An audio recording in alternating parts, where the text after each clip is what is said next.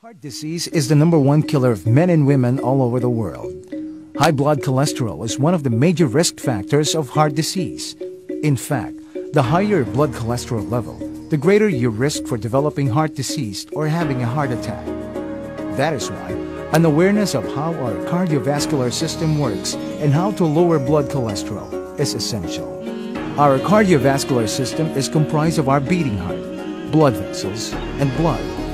The average man's body contains 5 to 6 liters of whole blood. Blood has many life-sustaining responsibilities, including transporting oxygen, carbon dioxide, nutrients, and hormones throughout the body. Blood is composed of red blood cells, white blood cells, platelets, and nutrients. Also circulating in our blood is cholesterol. The two common forms are LDL, the bad cholesterol, and HDL, the good cholesterol. High blood cholesterol occurs when we have a higher amount of LDL than normal. LDL travels out of the blood and is deposited between the smooth muscle cells of the artery.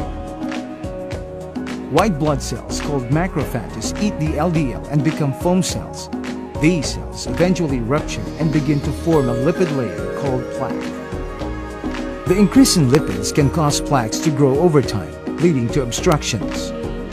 If the obstruction occurs in the coronary arteries, it could result in a heart attack. If the obstruction occurs in arteries of the brain, it could lead to a stroke. There are no symptoms of high blood cholesterol. For this reason, aside from regular screening, we should always keep it at a healthy level to prevent its fatal complications. There are two ways to lower blood cholesterol. First is through therapeutic lifestyle changes like having a cholesterol-lowering diet, physical activity, and weight management. Second is through drug treatment. Unfortunately, lifestyle changes may not always be an easy option for busy people. While prescription drugs are not only expensive, but it also poses side effects like dizziness, allergic reactions, muscle pain, heartburn, and liver damage. Good news! Now you can lower your blood cholesterol the natural way.